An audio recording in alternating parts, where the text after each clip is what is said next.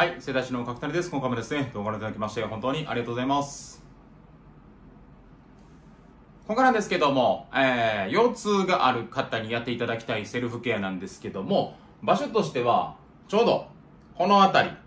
なので、まあまあ、代表的な腰痛の場所だと思うんですけど、特にこのあた、えー、特にこの辺りが痛い方に関してやっていただきたいセルフケア、むちゃむちゃ簡単です。30秒ほど押すだけのセルフケアになりますので、もしね、えー、さっき言ったこの辺りが、あ痛い、腰痛がある方は、ぜひこの動画参考にしてやってみてください。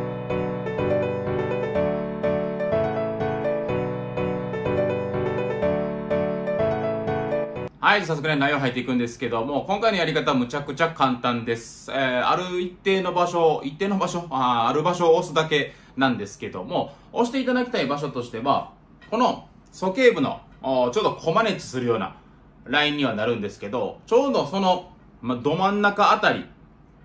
を、このようにグッと押していただいて、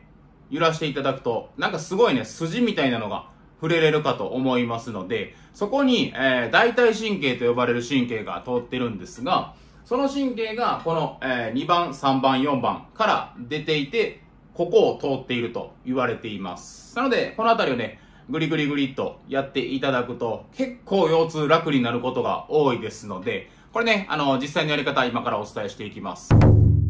やり方はむちゃくちゃ簡単なんですが、さっき言ってたこの鼠径部のね、ラインがこの辺りにあると思いますので、ちょうどその真ん中あたり。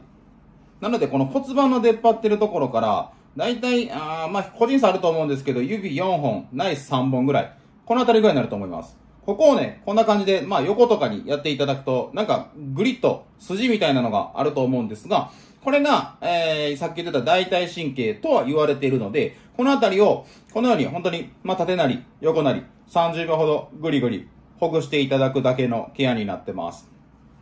反対側も一緒で、このように鼠径部のライン見つけてもらって、ここからちょうど真ん中あたり、このあたりですね。今触るとちょっと、もろにグリッとなって、ちょっと若干痛いんですけど、このあたりを同じように縦なり、横なり、30秒ほど緩めるだけのケアになってます。はい。では今回のセルフケア以上になってます。やり方はむちゃむちゃ簡単やと思いますし、えー、さっきの内容なんですけども、言ってたその大腿神経というものがこの腰椎の2番、3番、4番から出て、このお腹の前を通って、ちょうどさっき当たった、さっき触ってた、鼠径部のあたりを通ってそのまま下に通っていて、腹剤神経と呼ばれるものに変わって膝の内側に行ったり、すねのところに通る神経にはなるんですけども、ここが言えば、まあデスクワークの方ってこうやって膝曲げて、膝じゃ股関節か、両方ね。股関節膝曲げてこうやってずっと座ってると思うんですけど、そうなればこの辺りって絶対硬くなるじゃないですか。ずっと長時間座ってると。ってなると、ここにある筋肉が縮こまってしまう。で、さっき言ってた神経はこう通ってきてるので、通ってるものを縮こまって引っ張ってしまう。で、この辺りが引っ張られるから痛い。ということは、あまあまあ物理的にね、起きるかなと思いますので、あ特にデスクワークの方とか、えー、座る仕事の方で腰痛がある方なんかは、この辺り緩めてあげると、結構楽になること多いかなと思いますし、あとは来ていただいている方でもですね、この仙骨のあたり、が痛い方なんかも、さっきの鼠径部やると楽になること結構多かったりしますので、あまあ先ほどこのね、腰椎の2番、3番、4番、このあたりであったり仙骨、まあまあ一般的には腰が痛い方ですね。というものに関しては、この鼠径部のとこ緩めていただくと楽になること多いかと思いますので、ぜひ参考にやってみてください。はい、ではですね、今回も動画をご覧いただきまして、本当にありがとうございました。